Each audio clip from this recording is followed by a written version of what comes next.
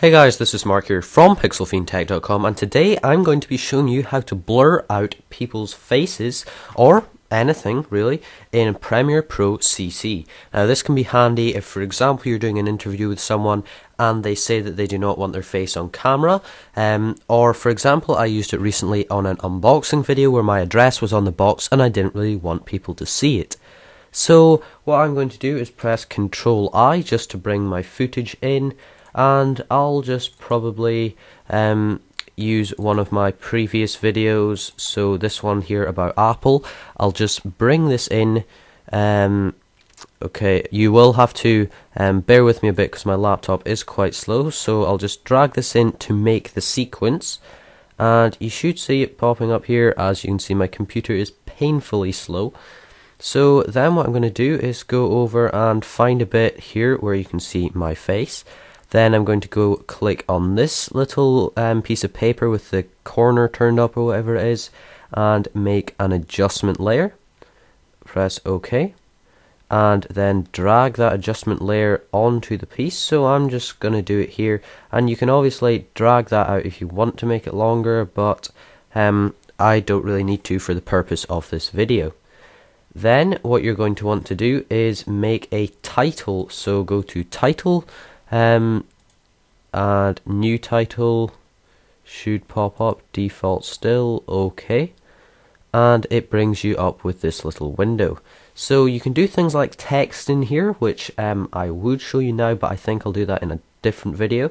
So what you're just going to do is select the ellipse tool and circle right over the face, kind of like that. So I think I'm going to make it a bit longer, drag it up, that should do there. And you can just close that now and drag your title right on top of your adjustment layer. Then what you're going to want to do is go to effects and type in mosaic. And you should see mosaic under video effects and then stylize and just drag that onto your adjustment layer. Then what you're going to want to do is go to effect controls and for mosaic if you just hover over here um, you should see here you have your mosaic pattern. So what I'm actually going to do here is um, go to here and okay so what you need to do is go over to effects and type in track and you should see track matte key under video F video effects keying and then track matte key and just drag that onto your adjustment layer then what you do is go to Effect Controls and here um, under Track Matte key select Video 3 and you can see that popping up. Now I really don't like that kind of blur so what I'm going to do is change it to about 70 horizontal blocks so you can see it obviously makes a lot more and about I'll try 70 again there and you can see you still get the face shape but it doesn't work too well. Now that is the cubed kind of effect. Now what you can do is simply turn off the mosaic and type in Gaussian blur um, or GAU um, will be enough and it will be video effects, blur and sharpen, then Gaussian blur.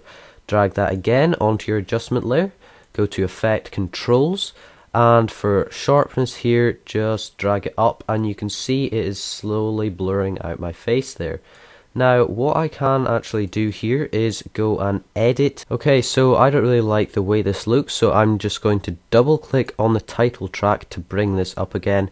And I think I'm going to move it up over here a bit, make it slightly wider, um, and lower that down. See how that looks maybe and you can see there now it is covering my whole face so this will work throughout the whole video. So you can see here it stays in the same place. If I were to drag these both out across them this length of time, you can see it's still blurred out over here. I can scrub along and I suppose it's like that. You can simply cut both of these and then move to your um, mask and if you double click on it you will be able to drag your mask around and since you've made a cut it will not affect before the cut but only after. So for example if I move my head over to here I would move the blur to there and you can do it like that. And with things like After Effects I'm not too sure if you can do it in Premiere Pro but I know you could in After Effects. You could do some motion tracking to get it to stay with the face as it's moving. So then that certainly allows for a lot more effects. So stay tuned for a nice little tutorial involving text and this kind of feature, which um, may not be quite what you think. So yep, um, subscribe to the channel for that. If you like this video, please give it a like, a share, and why not subscribe to my channel for more content. If you've got any questions, leave them in the comment section below or email me at the address in the description. Thank you very much for watching. See you.